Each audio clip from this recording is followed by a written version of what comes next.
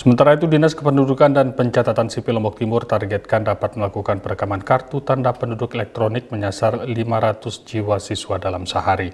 Gencarnya kegiatan ini dimaksudkan untuk mendukung suksesnya penyelenggaraan pemilu 2024 mendatang.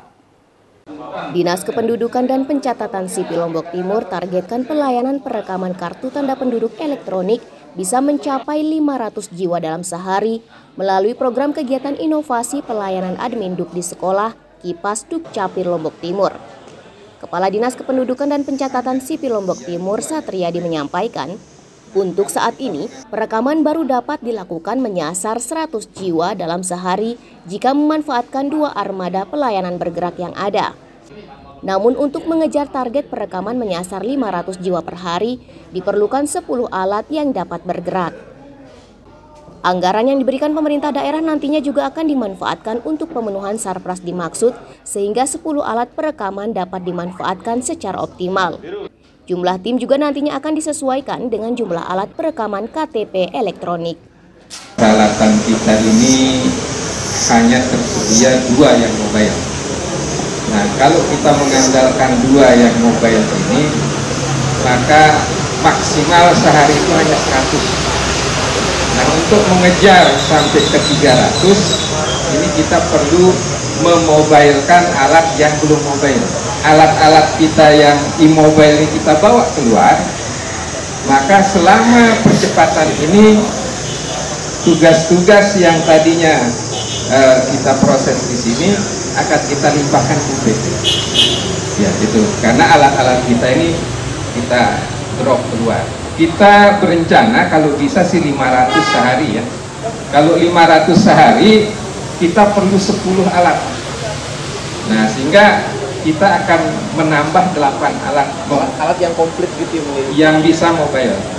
Sementara itu, Kepala UPTD Dikbud Provinsi NTB Martua Hamonang Nasution menyampaikan, kegiatan serupa sebelumnya sudah dilaksanakan Dikbud bersama pihak sekolah. Semua SMA, SMK dan SLB baik negeri maupun swasta sebelumnya sudah diimbau untuk mensukseskan kegiatan perekaman dimaksud. Mengumpulkan siswa dari berbagai sekolah pada satu titik menjadi salah satu pola efektivitas kegiatan perekaman yang akan dilakukan. Hal senada juga disampaikan perwakilan kantor Kementerian Agama Lombok Timur Makinudin. Jika pihak Kemenak siap mendukung kegiatan perekaman di semua satuan pendidikan di bawah naungan Kementerian Agama sudah bekerja sama, mungkin bukan tahunnya dia tahun yang lalu juga, ini kita sudah laksanakan, tapi target kita untuk tahun ini lebih banyak yang tadi, sehingga kemarin ini sudah putuskan bahwa akan langsung dikunjungi ke sekolah-sekolah, salah satu kita sudah sosialisasi semua kepala sekolah SMA, SMK, SRB Serombot Timur sudah kita sosialisasikan bahwa tim dapil akan turun ke sekolah-sekolah. Ada beberapa pola, salah satu pola itu dipusatkan di sekolah negeri, nanti karena alat terbatas seperti yang dikatakan Pak tadi tadi, nanti sekolah-sekolah swasta itu ikut nanti di sekolah-sekolah negeri. Mungkin sama dengan para PTB itu tadi bahwa tentu kami di Kementerian Agama juga akan mensupport secara penuh apa yang menjadi kebutuhan dari dapil terkait mungkin sudah dari awal ada komunikasi dengan pihak Kementerian Agama sehingga sekarang untuk menindaklanjuti untuk menyelesaikan dokumen-dokumen yang dibutuhkan.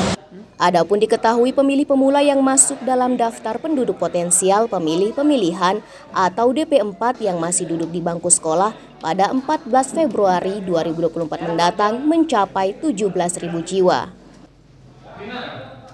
Ahmad Zulkarnain, Lalu Halili, Selaparang TV, melaporkan.